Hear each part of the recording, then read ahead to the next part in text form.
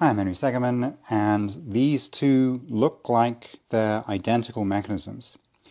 So this one up here is a standard scissor linkage. When I bring these two arms together, the whole thing gets longer. When I bring them further apart, the whole thing gets shorter. This other one looks identical, but it does something quite different. When I bring these two arms together, over here on the left, they come apart on the right, and vice versa. When I bring them apart on the left, they come together on the right, and the whole thing doesn't really get shorter or longer. So this is sort of like a NOT gate. It switches between the arms going close together and the arms going further apart. For example, you could say maybe you decide that uh, when the arms are together, that means true. And so this is true on the left, true on the right, or false on the left, false on the right. This one here, true on the left becomes false on the right, or false on the left becomes true on the right, so it's swapping which is which. Often the point of using a scissor linkage is that it can get longer or shorter, depending on whether the arms are together or apart. This one doesn't get much longer or shorter, but it does change a little bit. It's a little bit longer when it's in the middle than when it's on either of the ends. That does mean that it can do something interesting like this, if I can get it right. It's a little tricky to get this going, but it's pretty stable once it goes. There we go. So I'm pulling it apart and pushing it back together again in such a way that it's got enough momentum as it goes through the center to switch from one to the other.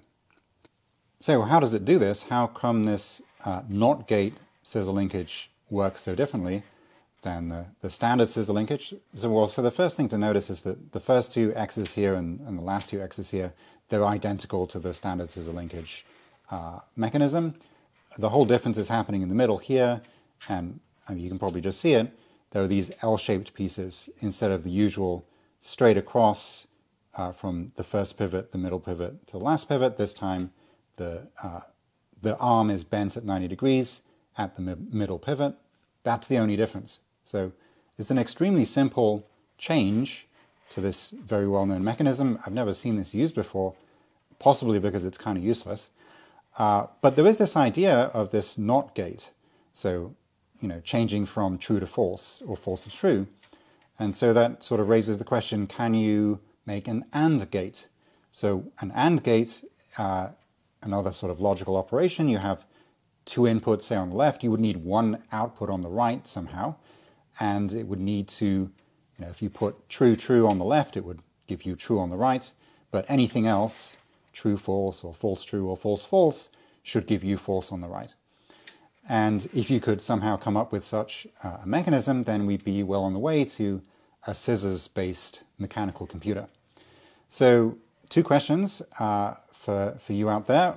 First of all, you know, can we make an AND gate? What would that look like? Uh, second, could you make a NOT gate that is constant length? So this is almost constant length. It's a little bit shorter on the two uh, sort of outside positions than in the middle. It gets a little bit longer.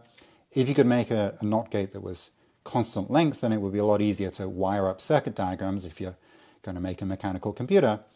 Um, so yeah, is there a way to do that? You can think about, um, it's a fun little exercise, what is the length of a scissor linkage? So as the angle between the arms changes, the length of the scissor linkage is going to change, and there's some trigonometry in there. It's not so difficult to work out. And here it turns out this is sort of a sine plus a cosine for angles between 0 and pi. And if you look at the graph of that, it doesn't change that much. So it's sort of near constant, but as I say, it would be nice to have it actually constant. Um, so that's it. Thanks for watching.